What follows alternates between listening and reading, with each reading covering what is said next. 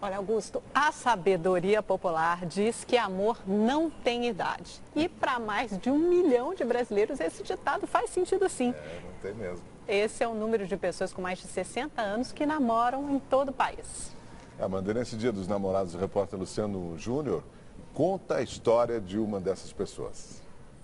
Nós estamos na zona sul de São Paulo, casa 141, região de Santo Amaro, e aqui mora seu Benedito e a dona Silvia. Perguntar para eles, né? Porque eles têm respostas pra gente. Tem alguém aí? Opa, meu Deus. Ó, o seu Benedito aqui. bem? Como é que tá? Graças a Deus. Dona Silvia. Olá, tudo bem? Tudo bem? Tudo bem. Posso entrar? Parece que vocês têm uma história legal para contar. Tem uma história muito boa, mas podem Então vamos lá, vamos lá, vamos conhecer aqui a casa do seu Benedito e a dona Silvia. Foi na rua onde eles moram que tudo começou. Ele passava e a gente ficava conversando. Ele, assim, tipo, jogando umas palavras. É.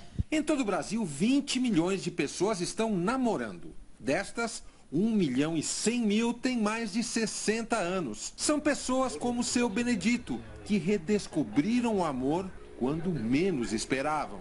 A cabeça da gente tem que ser jovem. Sabe, não é porque eu estou com 68 anos que eu vou me pôr que eu, tô, eu sou um velho caído. Não. Hoje em dia é bastante comum você pensar que na terceira idade você pode ter uma vida sexual e afetiva eh, viva e saudável. Seu Benedito é romântico. Fez questão de dançar ao som da música que marcou o relacionamento.